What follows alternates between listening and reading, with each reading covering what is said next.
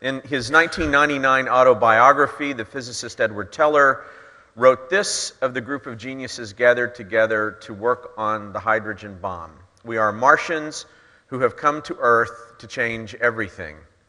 Change everything they did, and among them, of course, was the brilliant mathematician John von Neumann, father of what we now call the von Neumann architecture for modern computing, and of course, so much more.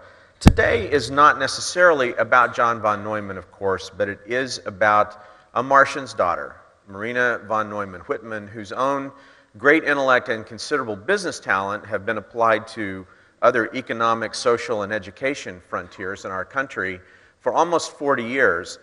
In her new uh, autobiography, The Martian's Daughter, Marina recounts what it was like to grow up in her unique family and then to continue to break new ground as a talented and credentialed woman, making it certainly in some of the most male dominated boardrooms, classrooms, and org charts of some of the uh, most storied institutions in America. Marina was leaning in long before the phrase leaning in hit the popular vernacular. She is professor of business administration and public policy at the University of Michigan a former vice president and chief economist of General Motors. She was the first woman appointed to the President's Council of Economic Advisors.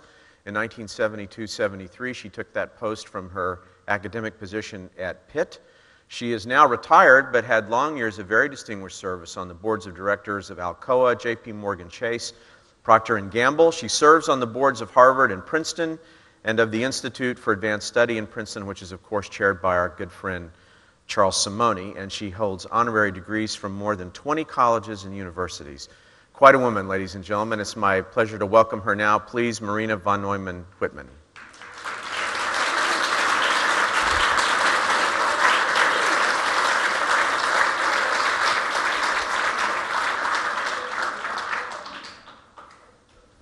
So good to have Hello, you here. John. Welcome. It's so good to be here. Thank you very much. I should say, by the way, that I have served on the boards of Harvard and Princeton, but not simultaneously. Ah, okay. That would be sort of like serving on the boards of Gimbels and Macy's at the same so time. that's true. Good point. Well, welcome. It's wonderful to be here. And I must say, this is a fabulous mu- museum. I've had a sort of mini tour. I think actually the full tour would take days and days, but it's pretty exciting. Thank you. Thank you very much. It was so much fun to take you around this morning and, of course, to look at what we call the JOHNNIAC, but uh, I know that was not your father's favorite phrase for that computer. Well, he liked it, but the Institute for Advanced Study thought it wasn't dignified enough. Ah, okay. So that's why it became the IAS machine, which I think is mu- much more boring than Johnny Ack. You've written a heck of a book. I just loved it. And there's so much ground to cover uh, in this. But let's start at the beginning, uh, not long before that picture that's there behind us and is on the cover of the book was taken. Um, you had, everyone I'm sure is going to want to know about the time that you spent with your father and, and your memories of him. Uh, but let's start with your mother and your father because your mother was uh, every bit as remarkable a person in her own way. That's true. That's absolutely true. She was very smart, very glamorous. She had a career that she never intended to and kind of made up as she went along. And um, although she isn't noted as much in things written about the book, she also was a very important influence. Talk a little bit about her influence, both on you and on, on John. Well, they actually, I think, grew up together in Budapest. Uh, the family lore has it that they met when she was three and he was six or seven at a birthday party. And um, then, somewhat later, obviously, um, they did what I guess today would be called dating, although my mother was very carefully chaperoned.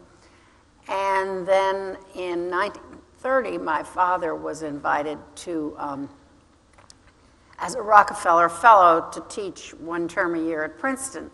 And he wanted my mother to come with him, and obviously that meant getting married.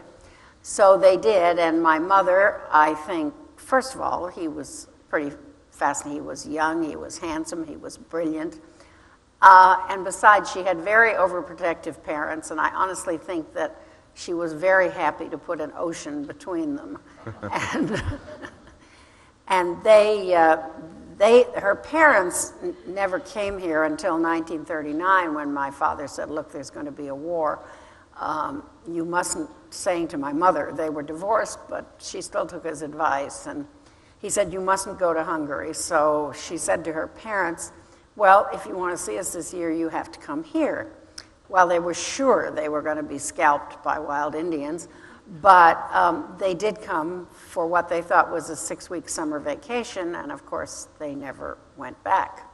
They couldn't go back to Europe at that point. No, they couldn't go back to Europe. I mean, war, they came in June, I guess, and war broke out in August, so obviously they couldn't go back. And uh, so they spent the rest of their lives here. And I guess one of the reasons, well, my mother went to work during World War II for several reasons. One is that it was unpatri- unpatriotic not to. And also, she um, had suddenly the financial responsibility for her parents and her aunt, who had also come. So she felt she ought to at least make a significant contribution to supporting them. So she went to work as a kind of Tillie the Toiler, and within three months she was a foreman, and within six months she was supervising the women technicians at radiation laboratory at MIT where they built uh, radar sets. And after that, she kind of never looked back. I think it's fascinating. Three very strong willed, intelligent women in your father's background uh, one Mariette, your mother, one Clary, your stepmother, and one you. Now, how did he deal with all of this uh, as a, as a Well, husband and father and As- intellect? As far as wives went, he dealt very badly. Um, he was a very gregarious person, but he never really got the hang of marriage. And um, my mother ultimately divorced him, and when it's said that when she was asked why she divorced this great genius and married a graduate student in physics, she said, Well, how would you like to be married to a national monument?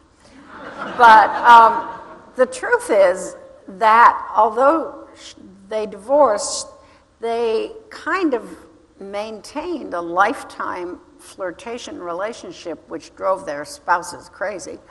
Um, when she was in sitting out the six weeks in Reno getting her divorce, she would write him letters about what a dreadful place this was, and she would sign off saying, "Do you do you love me just a little bit?"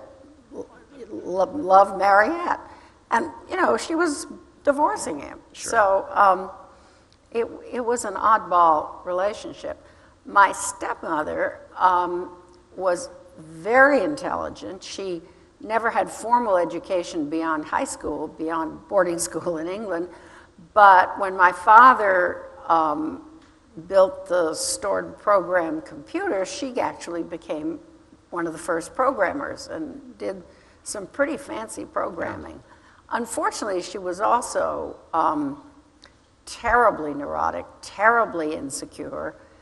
Every day that he was away from her, he would write her a letter apologizing for some pursued, pursued, perceived sin or other. And she was also very insecure. Sadly, um, she ultimately committed suicide, as her father had. Uh, when I lived with them when I was, I was in high school, she tried very hard to form a good relationship with me, but the truth was that she was not easy to get along with. And now, of course, in my old age, I have enormous sympathy for her, but back then, as an adolescent, uh, I was pretty impatient. Mm-hmm. Now, your mother and father had a very unusual arrangement for you personally after they divorced, and it was not one you knew about. She was to have custody of you up to a point, and then he was to have custody from that point on. That's right. The, the agreement was, and I, I have the divorce agreement in my safe deposit box, that until I was roughly 12 or 13, I would live with my mother during the school year and spend vacations with my father. And then, when I more or less reached high school years, it, the situation would be reversed. their reasoning was apparently that, of course, anybody